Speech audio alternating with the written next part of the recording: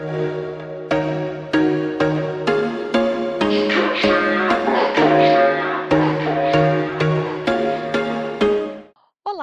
Tudo bom com vocês? Aqui quem fala é Gabriela Ponte, mais conhecida como Cine Rock Girl, e hoje nós vamos falar de One Piece. Assim, gente, One Piece na verdade é um anime aí muito famoso, que tem mais de mil episódios, né? Tá rolando aí já há muitos anos, né? Ainda tá em andamento, inclusive, é realmente uma história enorme.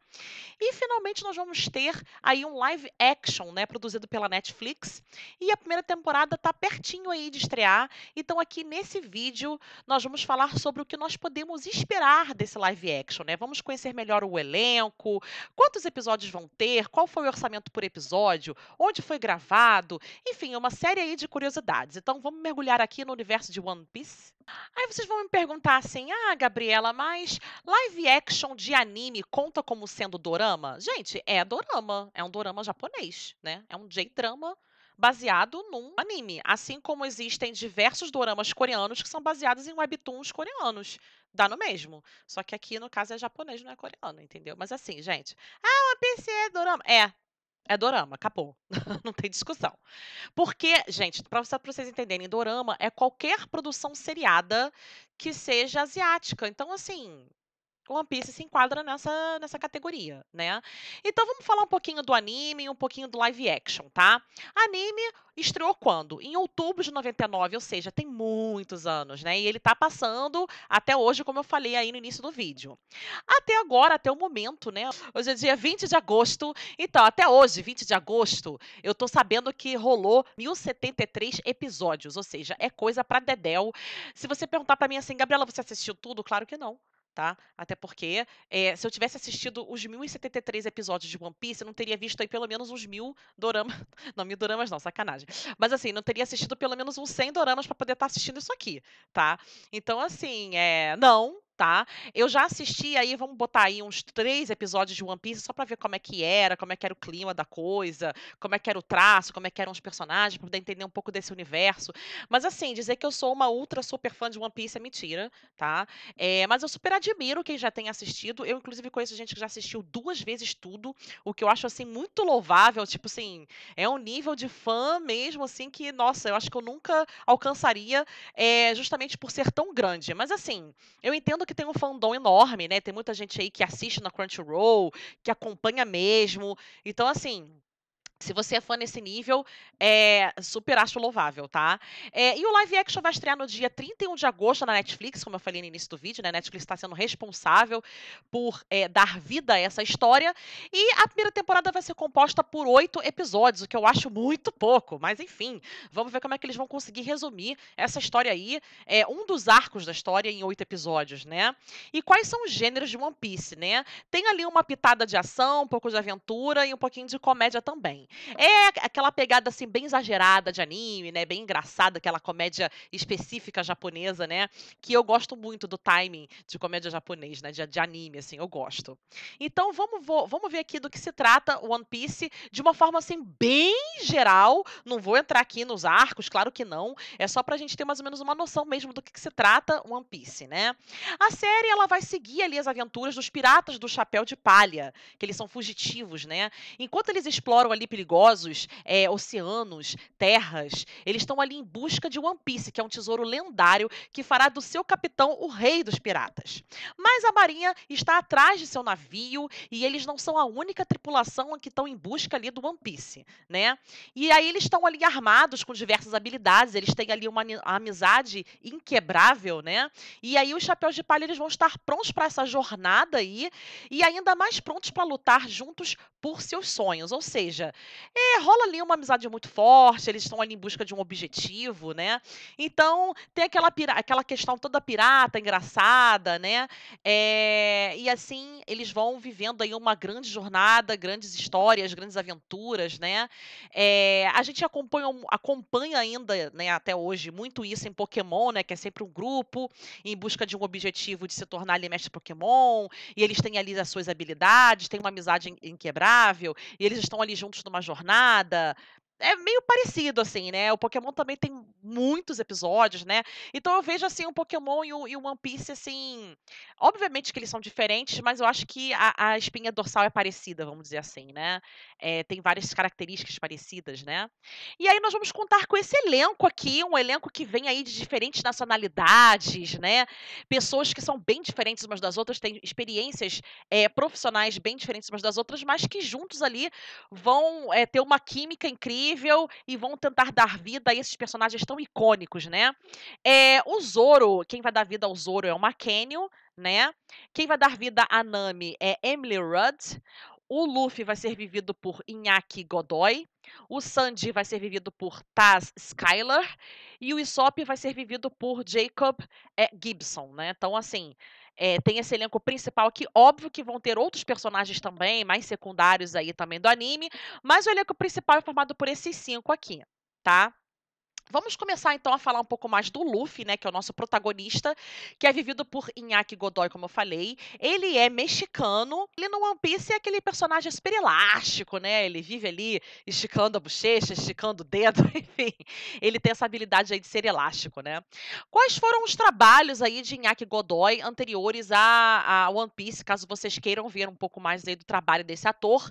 É, ele esteve em La Querida del Centauro em 2016, The Unperfect Perfect em 2022 e também em 2022 ele esteve ali em Max Zombies, tá? Vamos falar agora um pouco do Zoro, né, do Roronoa Zoro, que é vivido pelo Mackenio, o Mackenio que é um ator americano, mas que tem descendência japonesa ali, né?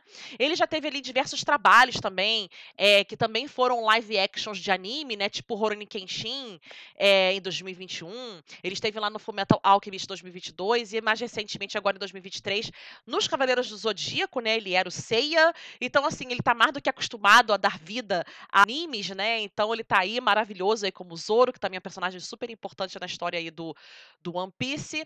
Vivendo a Nami, nós temos a atriz Emily Rudd, que é americana, e trabalhos antigos dela, caso você queira conhecer um pouco mais dessa atriz. Ela esteve em The Romanoffs em 2018. É, teve aquela trilogia de filmes da Netflix, né, Fear Street.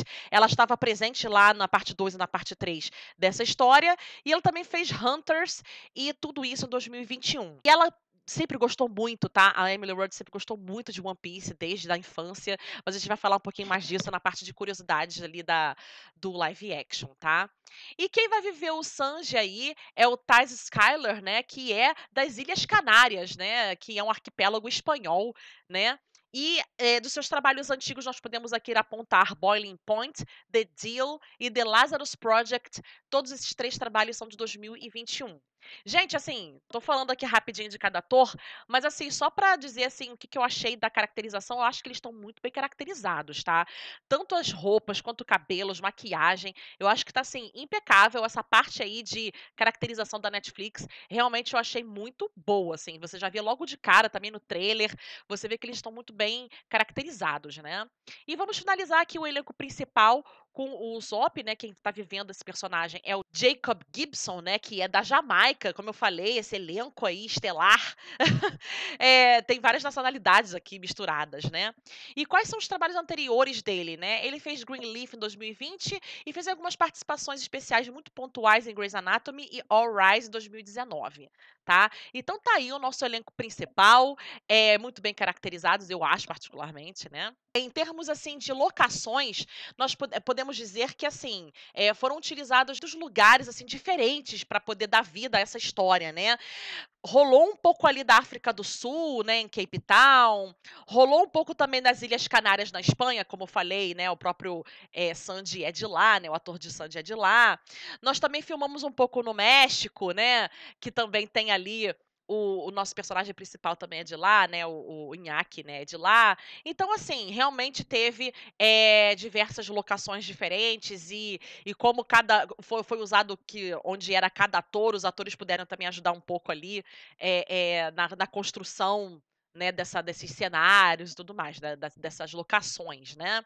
Então, o que que acontece? Quando você grava uma série, um filme, onde tem muitas locações em, em países diferentes, isso acaba encarecendo muito, né, a série. Então, assim, vocês estão podendo ver aí que realmente os cenários estão muito bem parecidos com o do anime, né? É, eles construíram os navios mesmo, então, se vocês podem ver aqui na- nas fotos, né? Eles realmente deram vida a todas aquelas coisas, né? Grandiosas, né? Tipo barcos e tal. Então, o que acabou acarretando numa série muito cara, né? Rolou aí um orçamento de 18 milhões de dólares por episódio, o que é muito caro, né? A gente pode dizer que é uma das séries mais caras da Netflix até hoje, tá? Então vamos passar aqui para as curiosidades, né, de One Piece.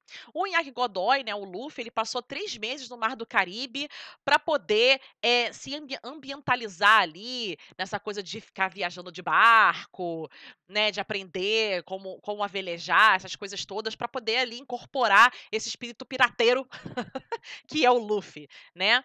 E esse é o maior projeto da Netflix, tanto em orçamento como em tamanho, já gravado assim na África do Sul até hoje, né?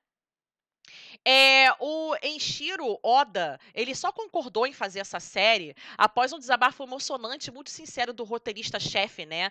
O Matt Owens, que fez ali o Luke Cage, ele contou pro, pro Oda como que o One Piece salvou a sua vida, né? Como que esse anime aí, grandioso, tão famoso, salvou a sua vida.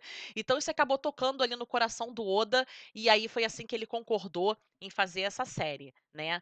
Passando aqui para mais curiosidades, como eu falei anteriormente, né, Emily Rudd, né, que vai fazer a Yanami, ela é uma grande fã de One Piece desde a sua infância e ela treinou durante muitos anos para conseguir esse papel de Nami, né? Então assim, isso é bem bacana, né, quando você tem ali no elenco uma pessoa que conhece muito bem a história, já tá ali facilmente incorporando o personagem. Então aconteceu isso aqui com a Emily Rudd, né? E como eu falei, né, One Piece é muito caro, tanto que ele custou muito mais do que Game of Thrones por episódio, né? Game of Thrones ali tinha custado uma cerca, uma- cerca de 15 milhões por episódio, né? 15 milhões de dólares por episódio, e One Piece foi 18 milhões, ou seja, é realmente uma série muito cara. E a primeira temporada ela vai adaptar a saga de East Blue, né, do anime. É, lá no anime, essa saga teve 61 episódios, então eles vão tentar resumir de 61 episódios em 8 episódios aqui na série. Ou seja, uma grande tarefa aí, né, do, do roteirista-chefe Matt Owens, né? E pro Oda ter concordado, gente, é porque eles chegaram num acordo ali do que, que era aceitável cortar, do que, que era aceitável adaptar aí para as telinhas da Netflix, né?